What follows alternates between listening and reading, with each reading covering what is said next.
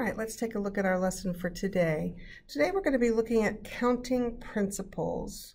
Um, perhaps you have seen this before, maybe um, a different math class. We're going to go a little bit more in depth.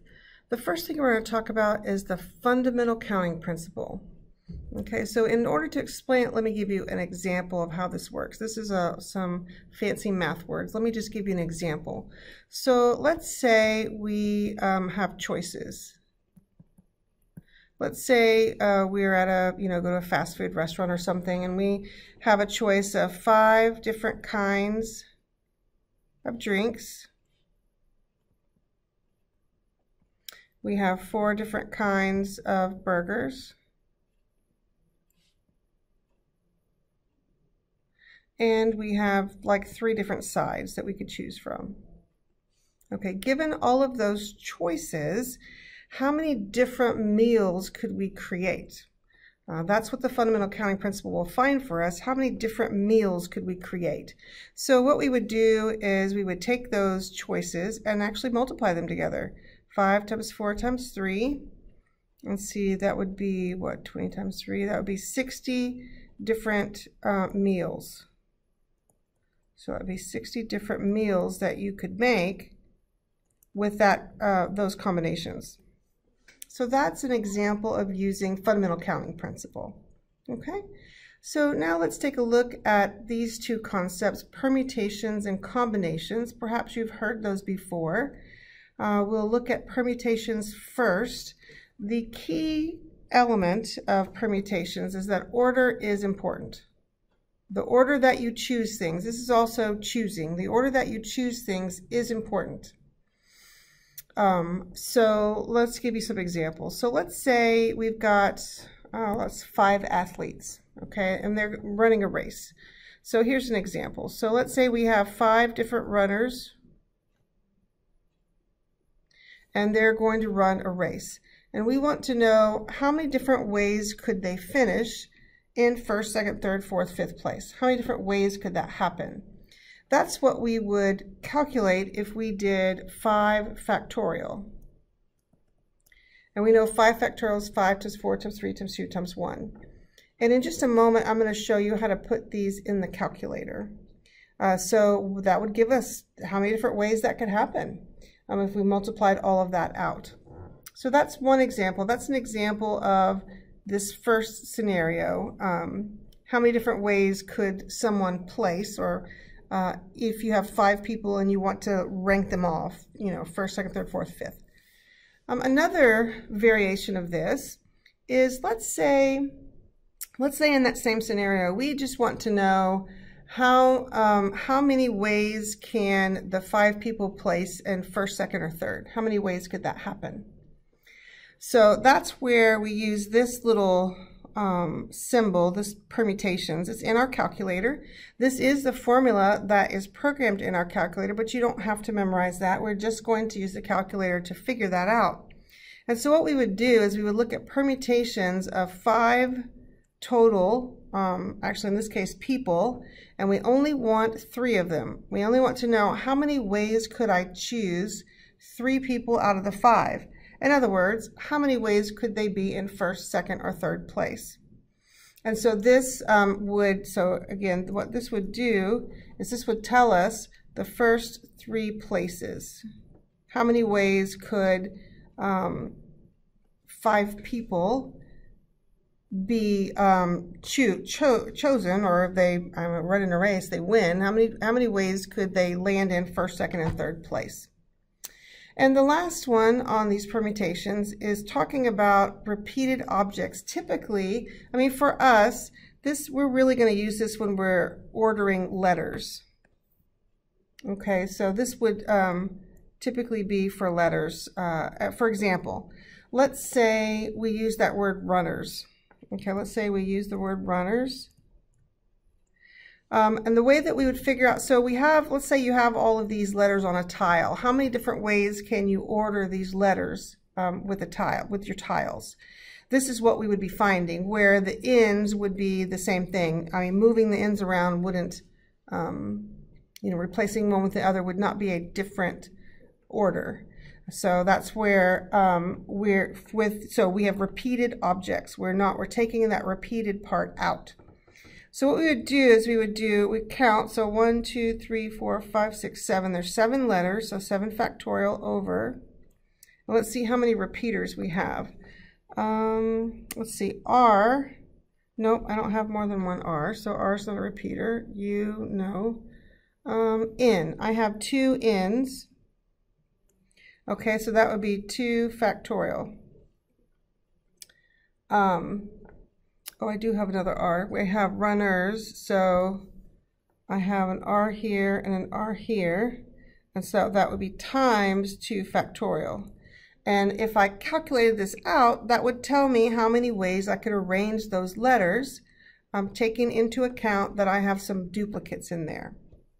Okay, so those are some examples of these three scenarios, those three um, formulas, how you would use them. Now let's look at combinations.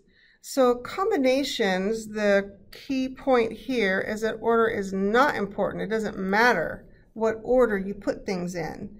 You know, if you've got three letters, A, B, C, and you just, you know, it doesn't matter what order you put them in, they would be the same set. It would be the same scenario. Um, so let me think. So an example for this let's say that you um, are president of a club and you have uh, 20 members and you want to choose five of your members to be on a committee for you. And the way, you know, there's no chair of the committee, you just need five people to be on a committee. So if you did that, would it matter what order you chose your club members in? It wouldn't, would it? It wouldn't matter which order you chose them in. So that's where combinations comes into play. So this uh, combinations is, again, in your calculator. This is the formula for combinations, which is programmed into your calculator. And so what you would do, so we have 20 club members to choose from, and you want five of them. 20, choose five. And so when you put this in your calculator, it would tell you um, how many ways how many ways could you choose? Five of 20 members. That's the example we just did. How many ways could you choose five of 20 members? And that's what that number would tell us. Okay, now before we get into the other examples or the examples on the second page, I would like to show you in your calculator where these things are where would you find the factorial and the n and the p? So let's just go to our calculator and let's calculate these things that we just did. For this work, we just need a calculator document. We don't need to worry about the lists or data documents, just a calculator. Okay, so the first example was 5 factorial. So there's two ways, at least two ways to access it in your calculator. One would be to type 5 and then go to your menu and probability and you see factorial, five factorials right there, and then you would just hit enter. Um, there is a shortcut to factorial if you want to use a shortcut. It's down here, right here on this little question mark thing under the enter, and there's the factorial as well. So there's a couple different ways you can get to factorial. And so in our scenario with the five runners, there'd be 120 different ways they could finish first, second, third, fourth, and fifth. Now let's look at the scenario where we just want to know the first three places. Okay, so we need to do a permutation. So menu, probability. See, there's the permutation right here. And what we would do is we would put in our five runners, that's our total, and then we'd put a comma, and then we want to know the first three places. And so there would be 60 different ways that um, those five runners could finish in first, second, and third. All right, so now let's look at the scenario with the letters. Remember we were doing runners and we were trying to decide um, how to set that up. So we would pull down um, a fraction bar and then we, there were seven letters, so seven factorial over and remember the duplicates, there were two n's, so 2 factorial times, you have to put a times in there, and then there were two um, r's, so 2 factorial. And then enter, and that tells us, wow, there's a 1,260 different ways you could order those letters. Oh, that sounds crazy. I don't think I'd want to do that by hand. Um, Last one was the scenario where, remember you have a club and there's 20 members and you want to choose five to be on a committee for you. How many ways could you do that? So let's go to our menu, probability. There's our combinations right there. And the total number of people we have is 20. And then we want five of them. Some people say 20 choose five. I mean, that's a, another way to think about it. And so Oh goodness, there's 15,504 ways that you could choose five people out of 20. That sounds crazy, doesn't it? Um, so there's a whole big different, um, lots of different ways that you could do that. All right, so for the rest of the work, I'm going to just, we're not going to pull the calculator up and work through it. I just wanted to show you how to do each of those things. So now we can just kind of focus on just setting it up. And then, of course, I have already put them in a calculator. So. All right, so let's look at um, our first example. So we've got um, telephone numbers in the United States have 10 digits. The first three digits are area code and the next seven are local phone number. How many different phone numbers are possible within each area code? So the area code doesn't matter. We're not going to worry about that. I'm just going to put that parentheses. It doesn't matter. Let's see. How do we, we know phone numbers like we have the three numbers, right? And then you have a little dash, and then you have your four numbers. The reason I'm writing this out is because this particular one can't be figured out with one of those straightforward formulas because we have a restriction. Look right here. So we've got, um, tell, they tell us a local telephone number can't begin with a zero or a one. Okay, so this is considered um, a restriction And when we have restrictions, we need to use, um, uh, basically we can't use straightforward formulas. Use um, this kind of scenario when we have restrictions where you list the things out. Okay, so restrictions, we want to use this, not formulas. Okay. All right, so let's think about that. So we've got, uh, we need a, a, digit, one digit, right? We've got 0, 1, 2, 3, 4, 5, 6, 7, 8, 9. Okay, that's 10 different digits. But for the first number in the telephone number, I can't have a 0 or a 1, so I don't really have 10 choices. I only have 8 choices.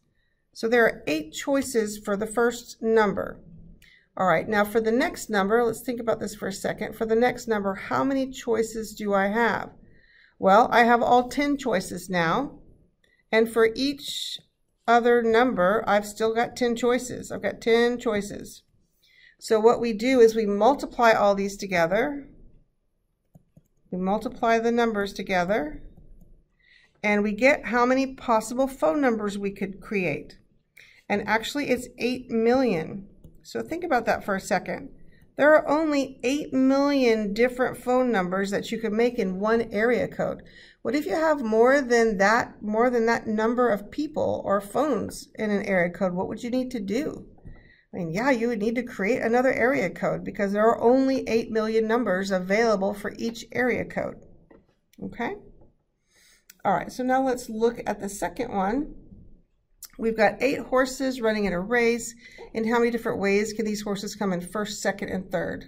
Okay, so there's two ways we could do this. We could lay out these choices again. So first, second, and third. Okay, so if I have eight horses running, how many of them are available to get first place? Right, there's eight of them available. Now, one of those horses is in first place. So how many other horses are available to get in second place? That's right, seven. Okay, and you see the pattern. So then a horse is in second place. So how many are left to be in third? It would be six. This is going to give me the same number. Now, the order matters, right? It matters what order they come in. This would be permutation of eight um, things, in this case horses, three at a time. That's going to be the same thing, whether you put it in your calculator, 8 times 7 times 6, or you use the permutation formula. You're going to get 336 different ways. That's a lot. 336 different ways that eight horses could finish in first, second, and third. Okay, now number three is very apparent that I'm not a very good speller because I spelled banana wrong. Sorry about that. Um, let's fix this. Okay, that's not how you spell banana. It's B-A-N-A-N-A. Okay, so I had a, I got a little excited. I put a little bit too many, too many N's in there. So this is where we're doing the distinguishable ways. Like we had these letters on tiles and we wanted to put them in all different orders. Remember, that's the one that has the fraction. So we add up how many letters? One, two, three, four, five, six. There's six different letters. Okay, let's see what our duplicates are. Um, let's see, we've got one, two, we've got three A's. So 3 factorial times let's see, all the duplicates. Yeah, we've got two n's times 2 factorial. So we put that in our calculator and it tells us there are 60 different ways that I could arrange those letters. 60 different ways. That's kind of fun. Okay. All right, let's take a look at number four. How many different ways can three letters be chosen from those letters? Does it matter what order I choose the letters in? Is there any indication that it matters? No, there's no indication that it matters. It just says choose three.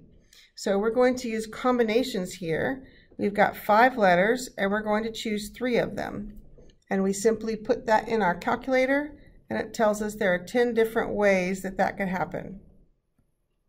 Okay, so that's one where order does not matter. All right, now we're looking at our very last one. It's a little bit more complicated because we have more things going on, but let's, let's look at it. So we have a 12-member swim team, and we need to form it, um, and I guess the people that are trying out, there are 10 girls and 15 boys. And for some reason, the team has to have five girls and seven boys. Okay, that's the requirement. So how many different 12-member teams are possible? Well, what we're going to have to do is we're going to have to look at the boys and the girls separately. So it doesn't matter the order we choose them in, right? We're not trying to get first, second, and third place or anything. We're just choosing um, team members. So this is a combination. So we have 10 girls total, and we want five of them. And, okay, so for our work with probability and stuff, the and is the same thing as multiply. If you want boys and girls, then you're going to do, you know, multiply them. So here's the scenario for girls. Now let's multiply that by the scenario for boys. So there are 15 total boys, and let's see, how many do we want? We want seven of those. So we would put that in our calculator. Um, what do you think? How big do you think that number is going to be? Hmm, it's going to be maybe a little, probably more than 10,000, you think? All right, so we put this in our calculator, and it's actually a gigantic number, 1,621,620 possible 12 member teams. Wow, that's crazy.